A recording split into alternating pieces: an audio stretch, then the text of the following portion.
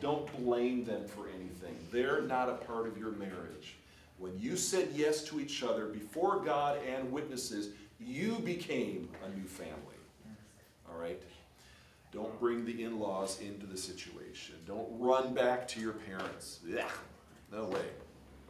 I wouldn't want my kids to move back with us. And I hope they're watching right now. I really do. No, don't come back. don't run to your parents every time you have a conflict. My, my husband, my wife is.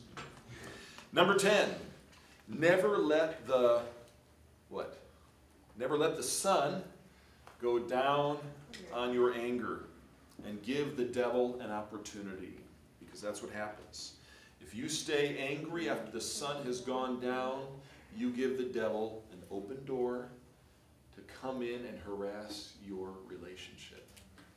It is not cool. And I've done it. We've all, you know, Kathy's done it. Married people, we understand this. This it's and it's terrible and it feels terrible. It's just our pride. You know, you get in an argument at 11 o'clock at night, you're both tired, and when you're tired, it's hard to resolve an argument when you're exhausted.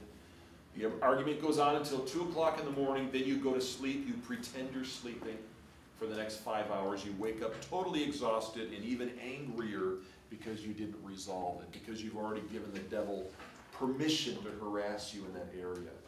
That's when you need to repent resolve and kick the devil out of that situation. All right? Don't let the sun go down. I heard one marriage counselor say, um, if you're going to resolve conflict, do it before 9 o'clock. You just got to deal with things before 9 o'clock at night, before you're tired and exhausted. Deal with things while you're still alert, you know, or even earlier. Question. Yes? What, if there comes up an argument like 11? If, if there's an argument that come, I, I would say, first of all, as much as possible, if there's something bothering a spouse, try to, if it's 11 o'clock at night, try to keep it to the next day, to talk about it the next day. That's really the ideal thing. Because when you bring up something late at night, it will usually get worse before it gets better. If you can at all wait, and some things can't wait, but if you can, try to wait to the next day. And then just next day, just say, hey, there's something I need to talk with you about. And uh, what, when would be a good time for you? And then just come together and discuss it then. Okay, I'm going to give you number 11 too, just because I'm that kind of a guy. One more. One more, a bonus commandment here. And this is something Kathy and I learned just in the last few years, and I'm so glad we did, and that is repent even if you don't think you did anything wrong. That's really important. I didn't have an effort. Huh? I didn't have. Never. Oh, that's right, it didn't have a never. Wow, you're doubly blessed then. Okay, yeah, so um, repent even if you don't think you did anything wrong. And it is it's such a prideful thing, but it's it's our human nature. We all deal with this.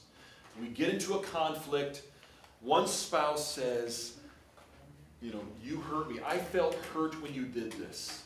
And the other spouse says, well, I didn't mean that though. But when you said this, it hurt me.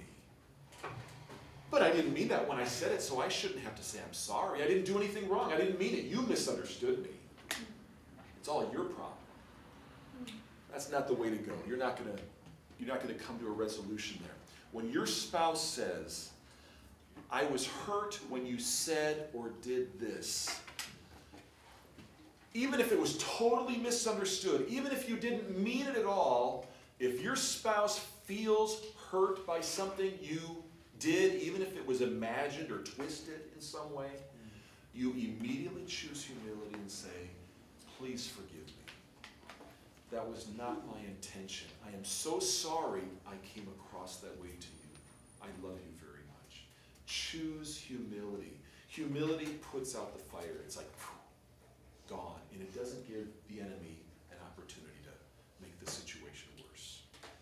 Please remember this thing. Don't wait until you've been married 30 years like Kathy and I. We were always trying to defend our position when we had an argument. And then we read a good marriage article while we were on a date and found this out. It's like, wow, that makes perfect sense, you know? How cool. Don't defend yourself. When you're just constantly defending yourself, that's just pride. You know, you got the problem. I don't have the problem. You sinned. I didn't sin. It's your problem. No, just own up. Own up, even if you don't think you did anything wrong, and just say, I am sorry. And, and really apologize. Don't just say, well, okay, I'm sorry. You big liar, you're not sorry at all. You say, eye to eye contact. I'm sorry. Would you please forgive me? I love you. I value you. I love our relationship. And then pray together. Okay. Okay, marriage can be heaven on earth, and it can also be hell on earth. It is our choice. And so I want to close in prayer, and I want to invite you to commit to Jesus, to be a man and woman of God that He is, to be the man or woman of God that He's called you to be. Um, if you're married, as these two are, invite Jesus to renew your love with your spouse. And uh, if you're single, as most of you are, uh, to invite Jesus to, to make you into that man or woman of God that He wants you to be, to prepare you. Now is the time to prepare for getting married. We meet a lot of single people who say, Yeah, I want to get married, but they're not doing anything to prepare themselves. You need to prepare yourselves for that, for that, s- for that mate. You, you can begin investing in your marriage right now, even if you don't get married for several years. So, other than praying for the other person, what, what would that look like? Other than praying for the other person, what? What, what would that look like? What would that look like? Yeah. It Yeah. means being a woman of God. Being a woman of God, being a woman of humility, realizing that, okay, I'm going to start honoring and respecting the people in authority over me now. I'm going to, I'm going to, you know, incorporate these things into my life. Yeah, walking these things out now in the relationships that I have around me now. Let's pray.